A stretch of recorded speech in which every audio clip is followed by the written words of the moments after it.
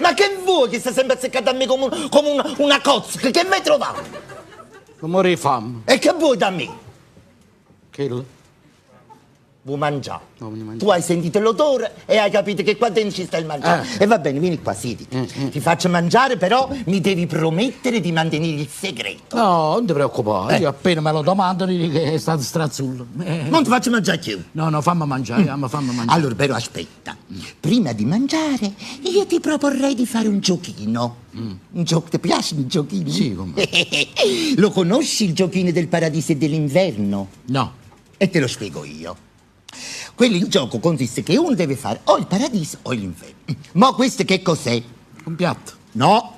Fai conto che questo piatto tondo tondo è come il mondo. Ah. Eh, e queste che cosa sono? Purpetto. No.